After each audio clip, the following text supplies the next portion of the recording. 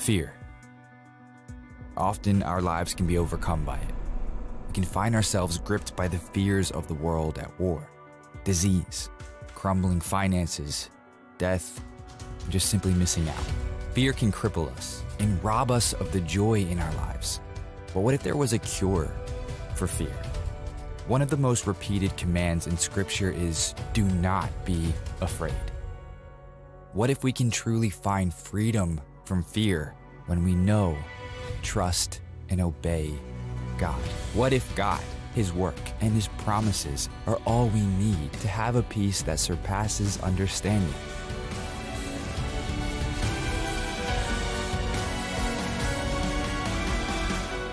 Do you want to live free from fear? And the answer, of course, is you know, it is such a, it really is a holy thing to think that the enthronement of Christ in our souls would be evidenced by a freeing of us from a fearfulness of the world in which we're living. And that's what we're praying happens during these days. Welcome, good morning, friends. Uh, Lakeland family, it's so really is fun being together. Um, if you're newer to Lakeland and I haven't had a chance to meet you, my name is Dan. Um, I'm going to turn off my, oh my, somebody just texted me here. Let me just shut this off real quick. Um, if we haven't had a chance to meet, um, on behalf of our whole church family, I am so, now some of you are like texting me. Don't do that, please, okay? Anyways, I, I, hope you'll introduce yourself to me. I'd love to meet you today and get to know you. Whether God's leading you to Lakeland or another church, we just want you to be plugged into his people and be growing in him. And so I'm, I'm glad you're here. If you're newer, you may not know that we are nine weeks into a series we're talking about, about overcoming different areas of fear in our lives. And today, today, the one we talk about is fear of not knowing the future, all of the stuff that comes up in us when we don't know the future. So I need a volunteer because I have a magic trick I'm going to do. Can I just have a volunteer, someone I've not talked to? If you don't raise a hand, I'm going to call on you, Jim Marsh. So if somebody ought to. Jim Marsh, hey, would you come and join me? Uh, give Jim a round of applause.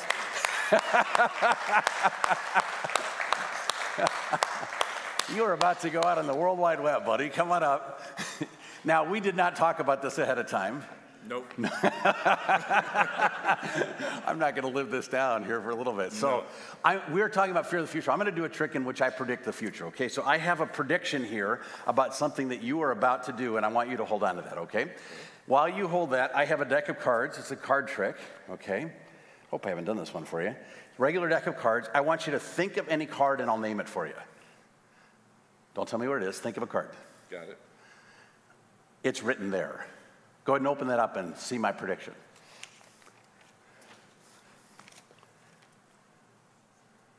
Sealed. Really? It's on a piece of paper. Go ahead and show everybody what it is. You want to show that to everybody? Your card is Phil. Well, I said I'd name his card. Now, now, no, no, no, stay put. What I didn't show you was that on the back of this deck is a different name. There are names all the way through Alan, Mike, Paul, Sam, Jake, Jim, Lisa, Des. Yeah. What's your card? Five of spades. Five of spades. Let's see if we can find it here. Five of spades.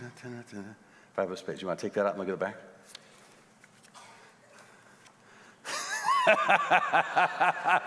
Can everybody give Jim a round of applause? Thank you. That's a gift to you. You can have that forever.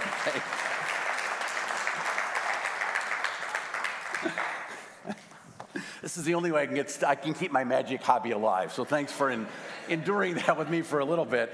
What I love about that trick, of course, it's a trick, but wouldn't it be a wonderful thing if indeed you could predict the future?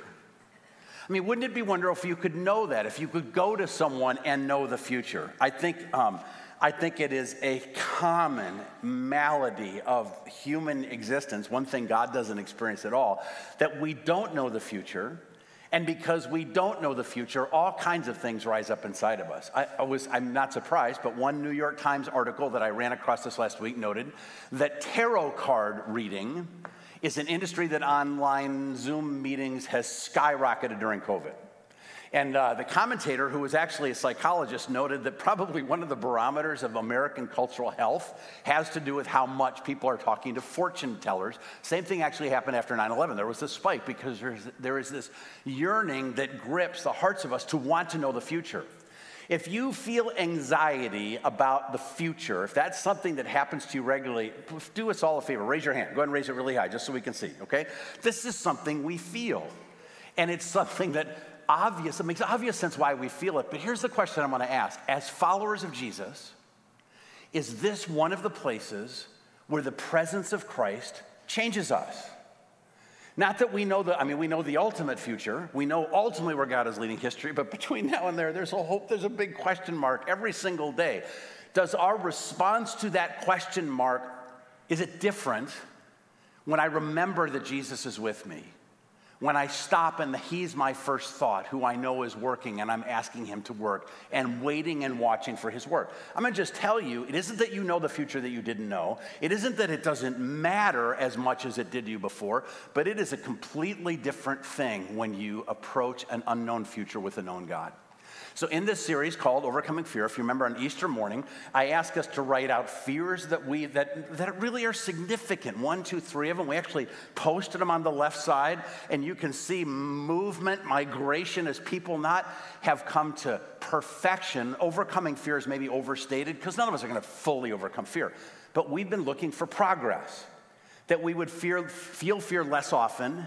When we feel it, it would be less intense and it would go away more quickly because we're learning the discipline when we feel fear of lifting our attention to God. And so, if you haven't done it yet, if you've been feeling not total freedom, but if there's been progress in your heart, at the end of the service, I want to encourage you to go over and grab one of those and grab your card and move it over if you can't find it, because we have so many fears on the left side. some of Someone said, I can't find my card. Just write a new one. That's totally fine. But that's a testimony of something God is doing actually in our hearts. And today we want to talk about this one about overcoming fear of the future. And I think the point we see is this Christians don't have to fear. In fact, Christians don't fear an unknown future when we're actively trusting a known God. When I trust the God who is in my future, that changes this entirely. And so if you live with a lot of anxiety about the future, well, first of all, come to know Jesus. That'll change everything. But second of all, let him be your first thought. And this is, you'll be helped by what it is that we see today in the book of Acts, Acts chapter 1. So if you would open your Bibles, uh, it's page 530 on the Bible underneath your page, under, under, your, uh, under your chair. We're going to look at the entire, skip through the entire chapter, all 26 verses, so you will be helped if you have it open. This, this text will, like snow coming off a hot roof, will free your heart and your soul from fear that grips you as you open up there. Man, what a great thing. Now, let me note, I don't normally do this. Acts 1 1 to 26 actually has a primary message I am not going to preach today, which is really unusual for me to do. But the reason we're in this text is that there is a thread that finds its way through that text that I am going to speak because this illustrates something so profoundly. So, so it's unusual that I would do this. What I'm saying is biblical, but it's not the primary point of this text, but it is a point of this text. And because it's familiar ground, I think it's even more helpful for us. So I will acknowledge, hopefully, I'll have Bereans coming up to me after they, I would have otherwise saying, you know, that's not the main point of that passage, which I would welcome, that you pay attention and hear with the scriptures as the filter through which you hear. But what I think we hear today is very, very, very helpful. And it is what we see happening in the hearts of Jesus' followers when they face an unbelievably unexpected thing. Now, these disciples have been with Jesus for three years. Would you agree with me that likely a fair amount of their time they spent facing Jesus doing unexpected things? Would you agree with me that that's, there was a lot of unexpected? If you're a follower of Jesus, especially one of his disciples, you would have regularly said something like, Wow, I didn't see that coming. And that definitely happens here. So, our first point to unpack this I'm free of fear um, of the future when I know and the God in the future. Uh, the first thing is this not knowing the future is normal Christ following. It is normal to not know what the future is. If you're thinking, I don't have any idea what the future is, and don't think it, something strange is happening to you. This is kind of the way it always is. So, again, we see this with Jesus. How many times did Jesus do things the disciples didn't expect? 5,000 people, the disciples said, Send them away so they can eat. Jesus said, No, no, give me a couple fish and some bread and I'll feed everyone. Didn't see that one coming. It didn't occur to them to go to Jesus even the second time and say, Why don't you multiply the bros, the, the bros? Why don't you multiply the bros? Yeah. well, that's one way of talking about evangelism the bread and the loaves, so that, gosh, my mind is just going faster than my lips. That's really not a good thing. It was very unexpected when this huge crowd was following Jesus on the way to Jerusalem at one point, and he turned around and looked them in the eye and said, Unless you take up your cross and follow me, You'll have no part of me. And most of the crowd left. Didn't see that one coming, for sure. Absolutely, they didn't see, even when Jesus rode into Jerusalem, or before that in the upper room as he, as he, as he met their needs and washed their feet, they probably didn't see the sovereign ruler of the universe who had all things placed under his feet, donned the garment of a servant, and washed their feet. Didn't see that one coming that the Son of Man didn't come to be served, but to serve and give his life as a ransom for many. They didn't see, as he rode into Jerusalem to the throng of at least 100,000 people screaming, Hosanna, blessed is he who comes in the name of the Lord. They didn't see that turning into not defeating the Romans, but in fact letting the Romans kill him. They didn't see that coming. And they didn't see his death being the means by which our true and deepest enemy, which is sin and judgment and the grave, were defeated when he rose again. To follow Jesus is to, is to spend a whole lot of time saying, didn't see that one coming. And now we come to Acts chapter 1, and this is absolutely true here. So, verse 8, we read Jesus is speaking to the disciples. He's, he's about to leave. He gives this commission You will receive power when the Holy Spirit comes on you, and you will be my witnesses in Jerusalem and all Judea and Samaria and to the ends of the earth. He'd already said, Stay until the Holy Spirit is poured out upon you. So they, they, they received a little bit of direction, but then they came to verse 9. and when he had said these things, as they were looking on, he was lifted up, and a cloud took him out of their sight.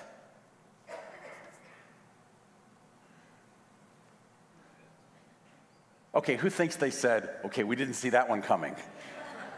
By the way, the cloud isn't a cumulonimbus. When Jesus said he's coming in the clouds, the point is not, well, sunny day, Jesus isn't coming today, because it's the Shekinah glory, it's the Holy Spirit, it's the Spirit of God. The Spirit of God came and took Jesus. And he's there, and suddenly, physically, bodily, and what do they do? As a result of that, verse 10, they're gazing into heaven what do you do after Jesus, who, by the way, you followed for three years, and now you're in Jerusalem because he, you followed him down there, and he died, and he rose again? I guess you're probably used to thinking, I, I don't ever try to predict what Jesus is about to do. He ascends to heaven. And so they're standing, gazing at the heavens. And just so they don't stay out all day, and for the next day, the Lord sends two angels. Behold, two men stood by in white robes and said, Men of Galilee, why are you standing and looking into heaven? And I might respectfully say, That's sort of obvious, don't you think? Jesus just ascended. But then he went on, these men went on to say, This Jesus, who was taken up from you into heaven, wow, what a thing to have witnessed will come in the same way as you saw him go into heaven. And all I can think is the disciples saying, We didn't see that happening. We didn't see that coming. The truth is, the disciples spent most of their time not knowing what God was about to do. They didn't know they were going to spend 40 we know what happened we know the story but it's 40 days before what Jesus just said is fulfilled this promise is given and the Holy Spirit is poured out upon them. And this miracle of the church takes place where people from every tribe and nation, when you actually map in Acts chapter 2 where the people that were in Jerusalem came from, you literally notice that they perfectly circle Jerusalem except due east, which is out in the Mediterranean Sea. People from all around Jerusalem are in Jerusalem for the day of Pentecost. And they're, so they're coming from other nations, Ethiopians and Syrians and on and on. And as they gather, when they hear the disciples, so something powerful happening, they hear the disciples speak in their own languages, declaring the wonders of God. Right? Babel is reversed, and this confusing language becomes worship evoking language, and the church is born, and 3,000 people are baptized. I dare say that morning they didn't expect that to happen.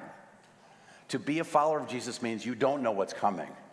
And knowing that, I think, is an incredibly helpful thing. But it's always been that way. Do you remember when God began his work in this era? He began it with Abram, Abraham in chapter 12, verse 1 of Genesis. We read now, the Lord said to Abraham, go, or Abram, go to your go from your country and your kindred and your father's house to the land. Let's say this out loud, to the land that I will show you.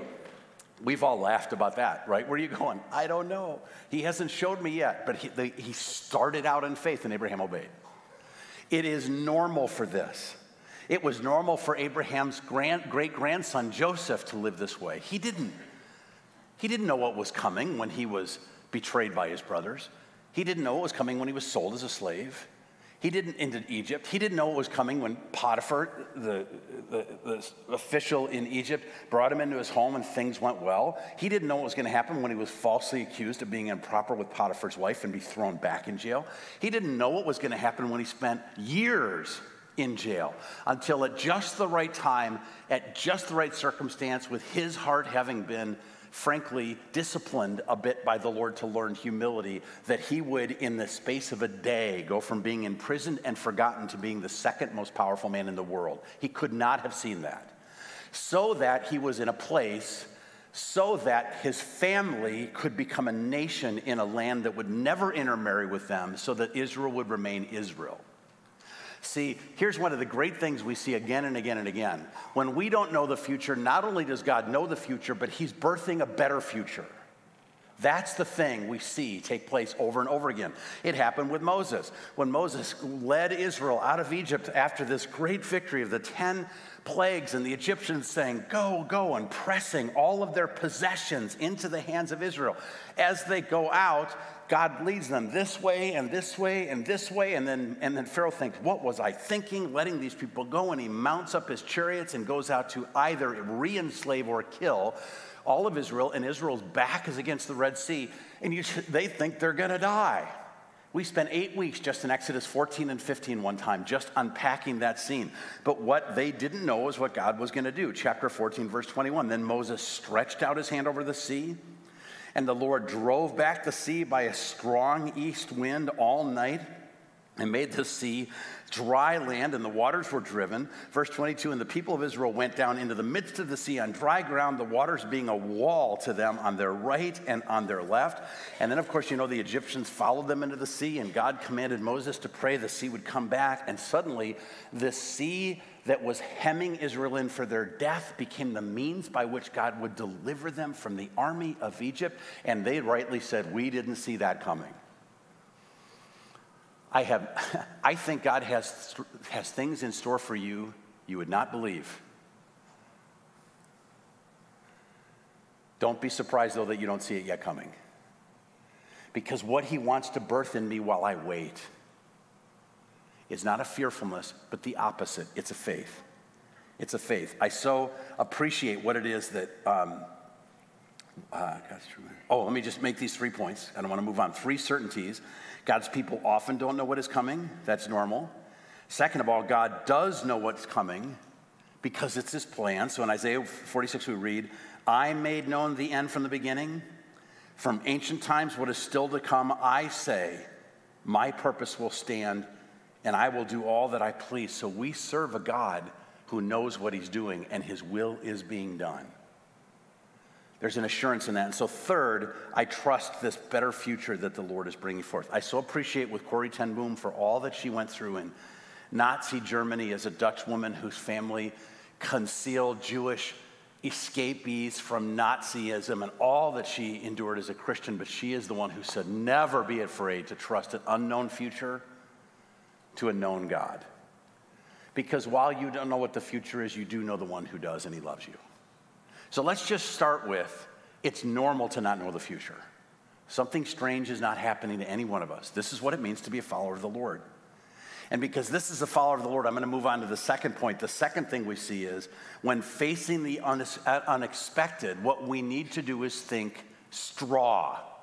straw. I'm working on my acronyms, okay? I'm trying to get better at this. So here's my acronym, STRAW. And this is what we see happening in Acts chapter 1. Here it is. These words stand for, first of all, stop. Instead of running around and bonking your head into things as you panic when unexpected, when you're facing the unexpected, stop.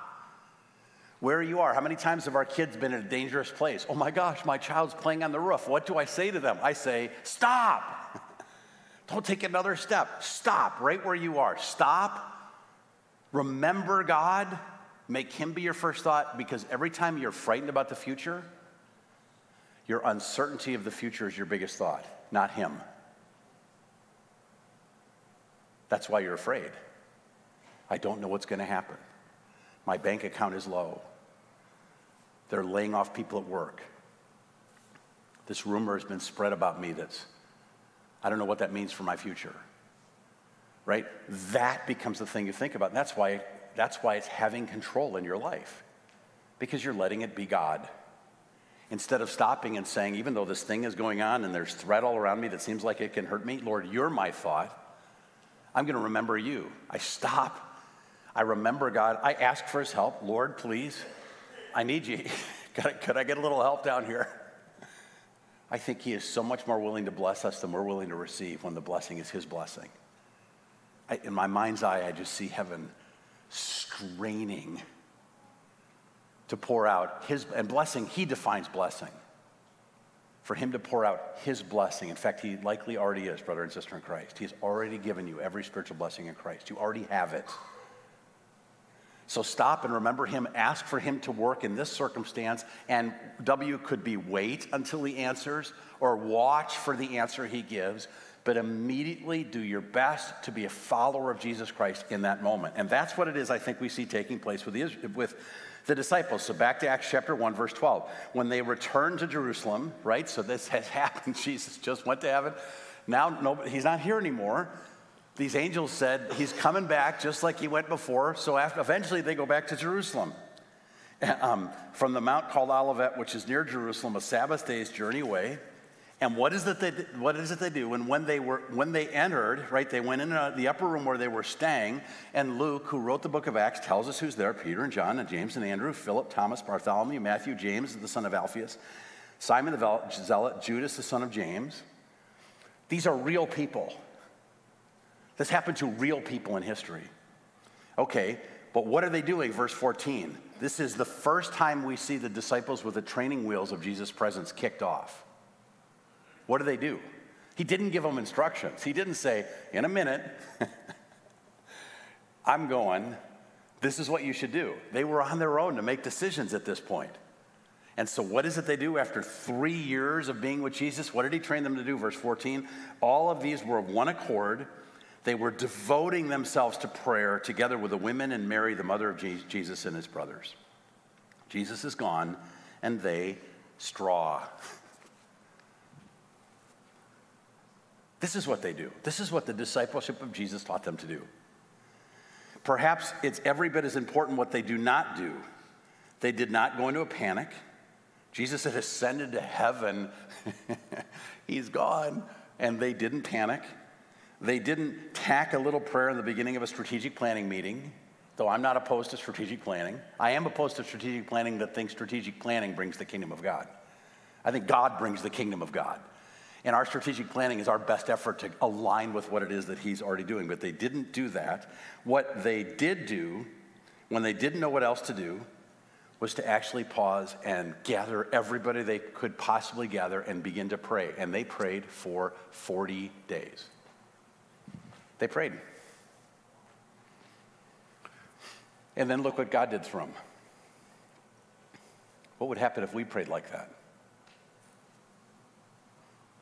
What would happen in your life if, if actually remembering you're a follower of Jesus Christ and you're praying like you're actually a follower of Jesus Christ and you're looking for His leading and His empowering and His work? What if that's the way we lived? We are, I am, starting with me, practical atheists all the time. I might even have a habit of prayer that I check off, but I live my day so often as if I'm the agent that's bringing about a better future rather than Him. And these folks weren't like that. And they kept praying and they kept praying. Verse 14, they devoted themselves to prayer together. It reminds me of Moses, right, who said, when Moses said, I'm done with you guys. I'll send an angel. You get up. You go into the promised land. The angel will take care of you. And Moses said, Uh uh-uh, uh, i am not going. We are not going without you. I'm really serious. What if we, as a church family, had that mindset? Because this is so much more than a movie theater where you just happen to be sitting in the same room with other people. You are a part of a church family, a local expression of a body of Christ in which there you have the opportunity to be devoted to one another in love, in prayer support for each other, in the using of your gifts for each other, in together, discerning what we together can do that no one of us could possibly do. To the measure, I think, because this isn't my Lakeland's not my idea. I'm a servant. I'm here today. I may be gone tomorrow. I have no idea. All I know is Jesus is here. This is His church, a local expression. And, and I believe if we are utterly committed to Him and to what He's doing in this church, and I know we have jobs and I know we have responsibilities. We have missions work to do at Abbott and at Lakes High School and when I'm working in the park district, so we're missionaries out there, but if we are utterly devoted to Him and actually seeking Him as a church family, who knows what, what do you think He wants to do? It's not tame. He wants to expose hidden sin in our lives that's choking our sensitivity to the Spirit of God. He's wanting to confront what is our unwillingness to be reconciled with people with whom we're not in a good place. He's wanting us to get over our fear of money and our materialism that clings to stuff and calls money mine when it's all His. He wants us to find together the joy of the kingdom of God in our midst. That's what He wants for us.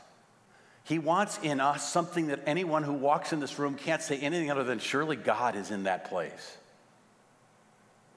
And it comes from being all in, invested in the way that we see folks here.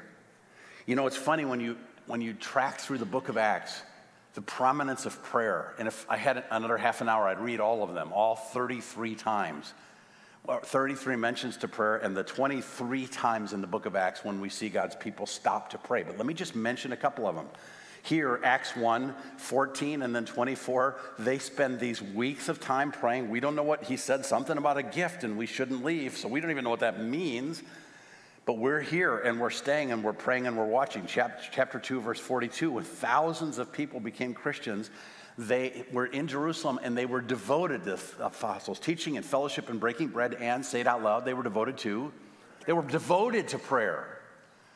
Devoted to prayer means you actually say no to other things to pray, and not just privately in your own lives, but together with us as a church. You devote time to praying as a church, with us as a church. Chapter 3, verse 1. Peter was on his way to prayer when he saw the man who was lame, and he said, Give me money. And Peter said, I don't have any money, but I'll give you what I got. In the name of the Lord Jesus, rise.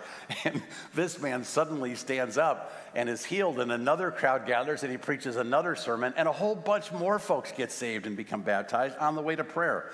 Chapter 4, verse 24, when the church heard Peter was released from prison, they all gathered and they thanked the Lord and they asked that God would make them bold to go into the streets and tell people about Jesus. And the place they were meeting was shaken. Chapter 6, verse 4. The disciples established deacons to serve this holy work of serving Greek widows who didn't have food. What a holy thing. But they needed to be devoted to teaching and to prayer. Chapter 7, verse 59 while Stephen was being stoned, he was praying and seeing Jesus. Chapter 8, Peter and John arrive in Antioch and they gather the church, and what do they do? They pray, and God's Spirit falls on them. Several other key places. Chapter 9, it's while Peter is praying that he receives a vision from the Lord. I won't unpack it other than to say the means by which God was speaking to the church that Jewish Christians should welcome Gentile Christians. A really big deal. Peter only saw this vision because he took time to pray, as happened when he entered Cornelius' home, this Gentile who became a follower of Jesus. Chapter 13 it, in Antioch, the church is gathered worshiping the Lord and praying. And that's when the Holy Spirit said, Set apart to be Barnabas and Saul for the work to which I've called them, which was essentially the beginning of the missionary endeavor of the church outside into the Gentile world. And we're in this room today because in Acts chapter 13, some of our brothers and sisters prayed and then they obeyed the leading of God. When we don't know what to do, don't be shocked. Let that be a reason to stop and to pray, to stop, to remember the Lord, to ask Him to work and to watch. And I'll just say it, Lakeland, I think we, by God's grace, I think we've made some really critical steps forward in prayer. So, and this is all glory to God, but for the last two and a half years, every single Saturday morning from 7 to 8, the elders have been meeting for two and a half years. We've been doing this. We meet on Zoom and we take time together to adore the Lord, to confess our sins to one another. We take time then to thank Him for His gifts and to pray and intercede for you and for each other. Our elder chair, Dan Berger, was the one that spoke this picture to us, and it gripped our hearts, and God provided leadership through our brother, and something holy has been happening in our eldership. And for the last months, our staff has never prayed as much as we're praying right now. Three days a week, we stop and we take time at the beginning of our day, the two days in the beginning of the day, and then during staff to say, God, this is your work, this is your to do list. You have to lead us. But I think we could grow in our prayer with one another as a church. So today in our congregational meeting at 1, we have some things to share with you. Frankly, they're incredibly encouraging. Some things that are happening, some things that are coming. We're going to get through those. We're going to share those things, but we're going to take the second half of our time as a church and pray together. That's what we're going to do is pray together online. 1 o'clock, join us on Zoom. August 20th, we have another elder concert of prayer set aside from 9 to 10:30. One of our elders, Charlie Crowthers, is leading us through that time. Be devoted to this right? Be a part of seeking the face of God. And may He lead us more and more and more to prayer. I would love to be launching a prayer team that's much more involved. And if that's on your heart and grips your heart, and you're like, ooh, I've been waiting to hear that, come talk to me afterwards. But may we not be shocked that we don't know the future, but when we don't know the future, may we straw, may we stop, may we remember the Lord, may we ask Him to lead, show Himself, and then may we watch and follow. That's what we see happening in our brothers and sisters in the book of Acts. Praise be to God. Third, when you don't know what to do, obey the commands you do. So while you're waiting for God to answer, I think it's also significant that if you have if there are any commands you know he wants you to obey that you do them. So, Acts chapter 1 verse 15, in these days during this entire time while they're praying, Peter stood up to the brothers, stood up among the brothers. The company of persons was all about 120. So 120 people praying. Wouldn't you have loved to have been in that thing? Devoting to prayer and waiting on what are we praying for? We don't know. We just know that God has a plan and we want to walk in it. Peter stood up, stood up among them and said, verse 16, Brothers, the scriptures had to be fulfilled, which the Holy Spirit spoke beforehand by the mouth of David concerning Judas so Peter was thinking the scriptures. He was looking at what had happened through the spectacle of the scriptures. And he realized that in the Old Testament, God had already foretold that one of the disciples would betray Jesus. And so he says that, verse 17, for he was numbered among us, as he quotes this prophecy, he was numbered among us and was allotted his share of this ministry, but they turned away. We don't we don't, we don't often talk about what it must have been like for the disciples to process Judas' betrayal. The anger of it, maybe the guilt of, was he going sideways and I didn't notice and do anything about it? Perhaps the sadness. I mean, they loved, they loved each other. Perhaps the sadness of that. It was a human thing that he betrayed. But one thing Peter did was to, to notice, to see Peter betrayed us, and through the spectacles of the scriptures, you know what that means? we realized this was something God knew was coming and he, and he shared it. And so he goes on to say, we need to find a successor. And that's what unfolds during those verses, which ultimately in verse 26 leads to this. And they cast lots for them, for these two men who'd come forward. And the lot fell to Matthias, and he was now numbered among the 11 others. And my point in all of this was while I'm waiting, I'm not called to passivity, I'm called to obey what I know to do where I am. So if you have uncertainty about something big in your days, okay, don't be shocked. Straw, straw, stop, remember the law, remember the Lord, ask for his help, right? And watch for what he's doing, wait for his answer. But in the meantime, get about the business of being holy. And so that's what those five banners on the wall are about. If you don't know what else to do, I would say make sure you're spending time in the scriptures and prayer.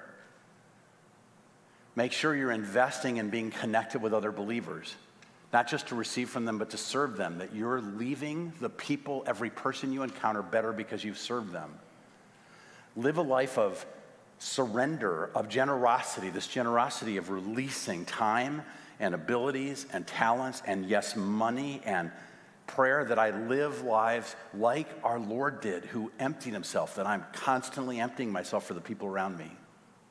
Live that, love, that life of gener- generosity, um, which is related to service. And finally, pray that you have opportunities to tell the people around you about the hope you have in Jesus Christ. Be building relationships with folks who don't know him. Be praying for folks you don't know. I just put two more names in my prayer book from Denny's uh, last Sunday, actually, of two folks. I'm like, I see you all the time. What's your name? And this guy said, he shook my hand, and what he didn't know is he just landed in my daily prayer book, okay? And there's a waitress at Denny's that just had a really bad surgery last week, and she was in my prayer book. And it's like, what a great thing that I can, I try, I don't always, but I try to pray for them every day. May you be praying for folks that God's placed in your lives. Get about doing those things while you wait and see what it is that God does. And friends, I think in all of this, when I don't know the future, I know a God who does. So when I was little, my, we had hockey tickets. My family's a hockey, hockey team. Uh, my brother played in college, and um, my dad got a scholarship to play college hockey, and so hockey was a big thing for us. We had tickets to the Blues because I grew up in St. Louis. They were right behind the the, uh, right behind the penalty box, which is a fascinating place to have season tickets right there, right? And I remember time when I was young going to hockey games. The North Stars used to be in Minnesota, and that, this was back in the day when you know goalies didn't all have masks on their face. For instance, the North Stars. This is I'm just telling you this because it's entertaining to me. Gump Worsley was the Minnesota North Stars goalie who didn't have a, didn't wear a mask, right? And so I saw his his uh, his rookie card. He was a really like strapping, attractive guy when he was younger. But by the time I saw him, he'd been hit in the face with hockey pucks and sticks. He was an ugly man. I remember standing right by the blue line and he looked over at me and I'm like, ah, right? So going to hockey games was kind of a regular thing for me when I was little. And I remember one time particularly when I was at a hockey game with my dad, it was time to go. And I have this memory of walking out to the cars. Now, you know what it's like to leave a professional sporting event. There are just people everywhere. So when you're this tall, all you see are knees and waist. That's all you see. And I remember, I remember exactly where we were in the stadium now, for the used to be the Checkerdome in St. Louis, walking out looking for a car. And I remember seeing knees. I didn't know where the car was. If I found the car, which I had no idea how to find, I had no idea how to get home from there, but I didn't feel the slightest amount of worry for one reason and one reason only, and that's because I was being held by the hand of my father. And as long, it didn't even cross my mind to be nervous because I knew my future was in his hand. I want to say, my friends, that's the place we find ourselves in today, in the hand of our Father. May God free us from the fear of the future because we put him before us. We're going to finish the last time I'm going to do this today, offering this prayer together. We are in the discipline of trying to preach to ourselves the truth about God that frees us from fear. So, can we close our message time by offering a prayer together? Go ahead and stand. If you didn't grab one on the way in, that's fine. You can grab one on the way out, but we'll do this from the overhead. Can we together remember our God who frees us from fear as we pray this prayer together? Please pray with me to the Lord. Father, when fear rises in my heart, help me remember you because you promised, I will keep in perfect peace the one whose mind is stead upon me. Remind me that Jesus promised, Peace I leave with you, my peace I give to you. Not as the world gives, do I give to you. Let not your hearts be troubled, neither let them be afraid. Help me believe that you did not give me a spirit of fear, but of power and love and self control. Therefore, I renounce fear for you have commanded me again and again, do not be afraid. I renounce the fear of the future, for my future is in your hands, and you make all things beautiful in your time. I renounce my fear of enemies, physical and spiritual, because you command me, be strong and courageous. Do not be afraid, or frightened, for the Lord, your God, is with you wherever you go. I reject the fear of Satan and his because when I submit to you, I can resist the devil and he will flee from me. I renounce my fear of tomorrow because you command us to leave tomorrow with you. I choose not to fear the opinions of other people, remembering that fear of man is a snare, but whoever trusts the Lord is safe. I know that when I try to please men, I am no longer a servant of Christ. I resist fear of embarrassment that keeps me from joining groups and other Christians because you commanded that we should not forsake assembling together. I reject the fear that my life is less than I hoped, remembering Jesus warned that in this life we will have trouble, but that we are not made for this world, but for the next. I renounce loving money because you warned that I cannot serve God and money.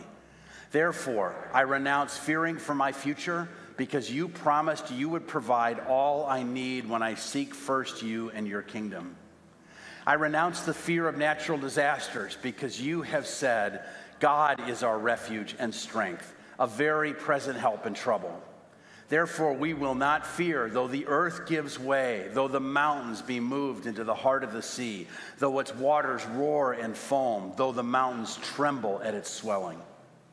I renounce the fear of illness and disease because you can heal your people and let them enjoy abundant peace and security. I renounce my fear of death because you said, even though I walk through the valley of the shadow of death, I should fear no evil, for you are with me and that to live is Christ and to die is gain. I renounce the fear of saying goodbye to a terminally ill loved one because Jesus promised, In my Father's house are many rooms, and if I go and prepare a place for you, I will take you to myself, that where I am, you will be also. I fear not the day of my death, because you have written my days in your book before one of them came to pass and because as a Christian, to be absent from the body is to be present with the Lord. I reject the fear of suffering because you have promised that your grace is sufficient for me and your power is made perfect in my weakness. I also believe that the sufferings of this present time aren't worthy to be compared with the glory that will be revealed in me. I renounce fear of martyrdom because we fear not those who can kill the body but cannot kill the soul. Rather, we fear him who can destroy both soul and body in hell. I reject the fear that I am unloved because neither life, nor angels, nor rulers, nor things present, nor things to come, nor anything else in all creation can separate us from the love of God in Christ Jesus our Lord. I reject fearing for my children as if they were outside of your care, for you are working in their lives so that they will say, I am the Lord's, and write the Lord's on their hand. I renounce the fear of failure because you promised, For I, the Lord your God, hold your right hand. It is I who say to you, Fear not, I am the one who helps you. I renounce my desire to increase my own glory and choose instead to give glory to you who alone is worthy of praise. I declare that Jesus is Lord of all. I commit to being a witness of Jesus Christ. I submit to your lordship in every area of my life. Jesus is the Lord of my home. Jesus is Lord of my family. Jesus is Lord of my friendships. Jesus is Lord of my future. Jesus is Lord of my needs. Jesus is Lord of my city. Jesus is Lord of my nation and all nations. Grant me your grace to live without fear for your glory in Jesus' name. Amen. As we continue to respond to the Lord, our prayer team will be in front. You're helped in being freed from fear if you stand with someone and confess, I need help for this. Please pray for me. So, prayer team, pray for God's leading in people's lives or any other burden that you bring today. We would love to pray with you. Let's respond to the Lord.